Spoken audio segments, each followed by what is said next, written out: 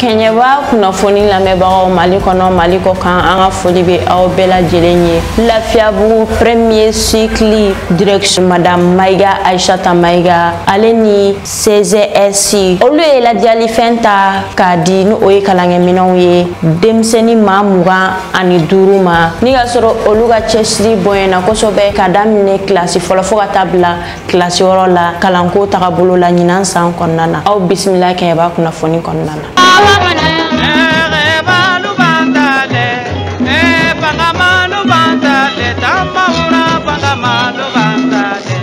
Kene bona tigolu bantale, eh, sabu dun te sa ya mamone.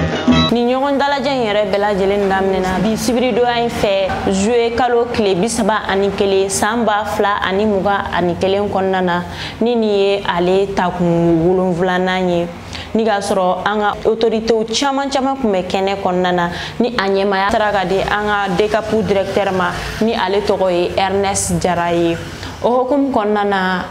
an ka jɛ ka mamadu magasa lamɛn an k'a dɔn k'a fɔ ko lafiyabugu ekɔliso a ka nin ɲɔgɔn dalajɛ ye ni ka se ka denmisɛnnin mɛnu ni ka sɔrɔ u cɛ sirilen dɔn kalan na kosɛbɛ ka se k'olu dɛmɛ cogo min na ani ka se u ka se ka dɔ fara u ka jirɔja la kalan na an ka kɛɲɛba sɛrikili kɔnɔna la nin baara ninnu daminɛra san ba fila ni tan ni naani kɔnɔna la ka taa bila san ba fila ani mugan ani kelen kɔnɔna la na n'o y'a a siɲɛ wɔɔrɔwulanan ye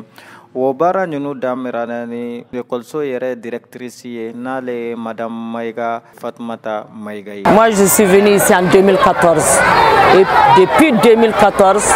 j'organise cette cérémonie de remise des prix aux meilleurs élèves de l'école fait ça pour que nga se ka parents parce que message caman b'a kɔnɔ e yɛrɛ ko ko poème kɛra récitation kɛra sketch kɛra il y a des messages là-dedans pour que parents bɛ se ka u denw accompagner école la cogoya min na u bɛ se ka tugu denmisɛnninw kɔ ka denmisɛnninw dɛmɛ u ka se ka kalan kɛ cogoya min na a organiser kun y'o de ye ni min ma prix sɔrɔ ɲinan o bɛ kasi san wɛrɛ o b'i cɛsiri o b'i jija ka kɛ prix kɛlaw la Prix fana ye les trois meilleurs de chaque classe de la première année à la sixième année les trois meilleurs de chaque classe et puis les meilleures filles de l'école olu fana bɛ primer donc a prix filɛ n'u y'a ye u bɛ nisɔndiya u b'u cɛsiri min ma k'a la ɲina o b'i jija ka k'a la sanfɛ n ja o bonyana n ma mais a ma bali n na parce que ni mɔgɔ min b'i dɛmɛ n'i y'a wele a bɛ na n'i sera mɔgɔ min ma ko n dɛmɛ n bɛ fɛ ka nin de kɛ denmisɛnninw bɛ n'a b'a k'i ye donc n'i y'a wele dɔrɔn a bɛ na ne sigilen bɛ hali chaise min kan direction kɔnɔ conseil de cercle de y'a diya madame la présidente de y'a diya n taara a bara o y'a sɔrɔ chaise tɛ n bolo n taara a fɔ a ɲɛna a ye chaise donni a ka mɔbili la ka n'a di yan direction na n mana s'a bara ko o ko min na a bɛ n dɛmɛ le monsieur le maire bɛ ten cogoya la a bɛ bamakɔ mɛ a ka cikan sera ne ma yan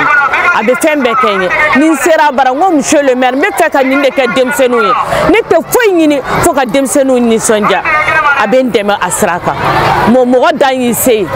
ne fana n ka cgs fana ma sigi n ka cgs fana bɛ n dɛmɛ parce que wari fɛn fɛn bɛ don ekɔliso la u b'a to yen an b'a kɛ denmisɛnninw ka musaka ye k'a di denmisɛnninw ma. an ka autorité ka nisɔndiya jira n'o ye président de conseil de cercle ye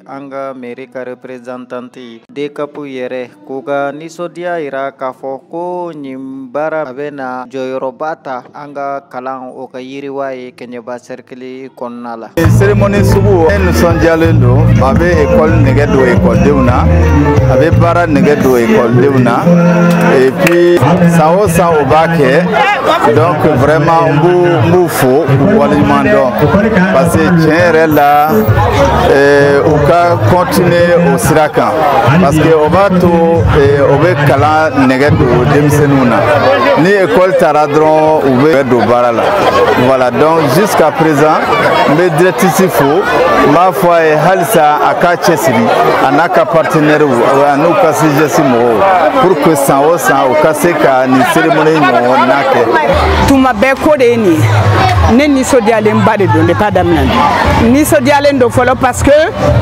muso dɔ de yan directrice ye a bɛ ka exemple yira cercle kɛ ɲɛba cercle école bɛɛ la a n'a ka équipe n ka bonyamasegi belebele b'a ye a n'a ka équipe n ka félicitation belebele b'a n'a ka équipe ye n b'a f'u ye u k'i jija u ka continuer u bɛ sira ɲumanba de fɛ a bɛ exemple yira la kɛɲɛba cercle bɛɛ école la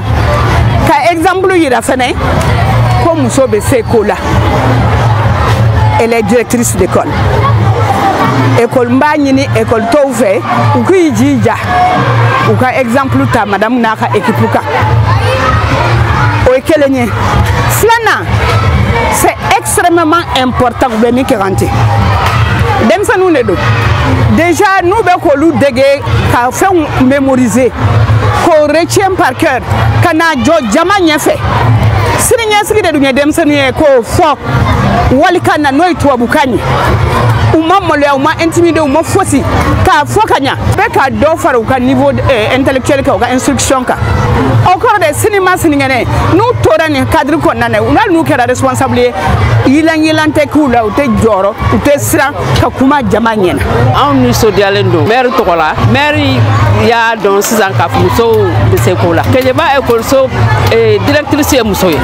sejasi perezidanti ye muso ye n y'a ye fana seremoni yɛrɛ bɛ kɔnɔna la nivo bɛ muso denmisɛnninw la ka taa mi cɛmanw kan yan a eh, première de la première année à la sixième muso min ye prix ta o ka ca ni cɛ ye nivo bɛ yan musomaninw ekɔlidenw la grâce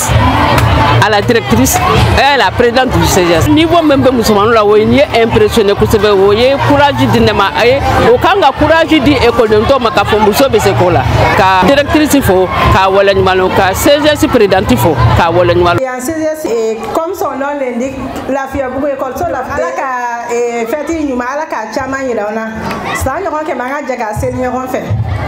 ee denmisɛnnin minnu bɛ ni piri kan ka d'u ma an bɛ dugawu don ye n'o taara ɲɛfɛ ala o ka seturu seere toujours o ka dɔ fara o kalan kan lafiyabugu premier sikili o dayɛlɛla san ba kelen ani kɛmɛ kɔnɔntɔn ni bi kɔnɔntɔn ni seegin na ne ka sɔrɔ kalanden min bɛ sɔrɔ a kɔnɔ bi a bɛ taa fo kalanden kɛmɛ seegin ani bi wɔɔrɔ ni kelen na a cɛmannin ye kɛmɛ naani ni bi naani ani saba ye a musomannin kɛmɛ naani ani tan ani seegin